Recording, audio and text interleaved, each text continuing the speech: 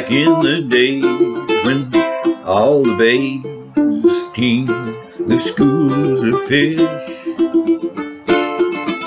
Songs were sung about wooden boats and the bay man's dying wish.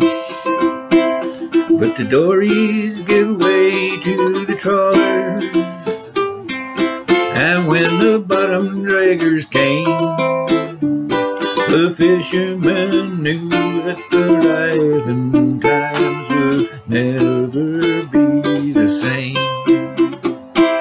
So Buddy tunes up his twin 150s and tops his fuel tank.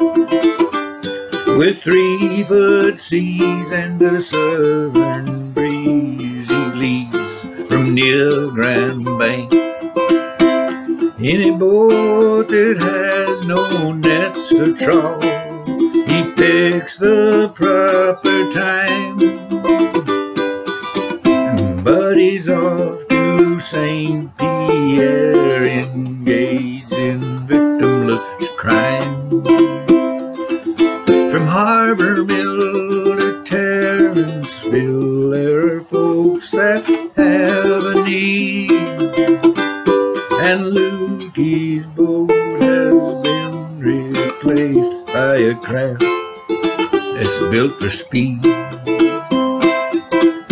Other boats prowl the shoreline, the law they would enforce. But Buddy knows all the coves and the shoals and where to set his course. From St. Pierre to God knows where he hasn't to care for the risk. When you carry liquid cod, the traffic's always brisk. If the Mounties track him down and confiscate the brew,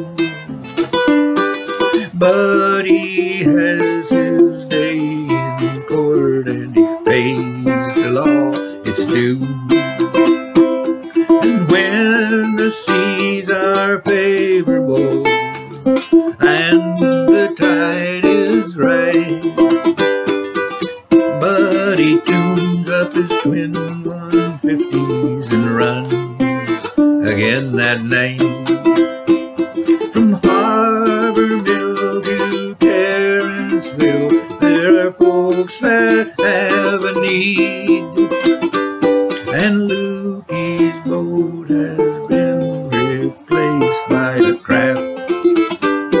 Speed. But the outport towns have dwindled down now to a precious few. And some brave men still bring back fish like they used to do. Others heed the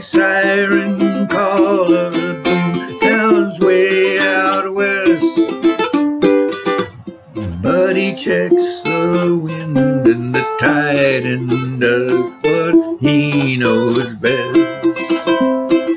And some call him a smuggler, others call him worse. Some argue liquid cod is a blessing, some call it a curse. When they're fueled by Tia Marias, they sing the old songs again. And they dance the jig and the hornpipe with the ghosts of fishermen.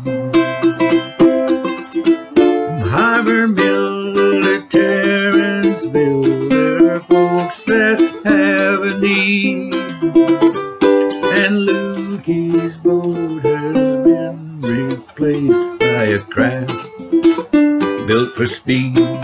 Lukey's boat has been replaced by a craft built for speed.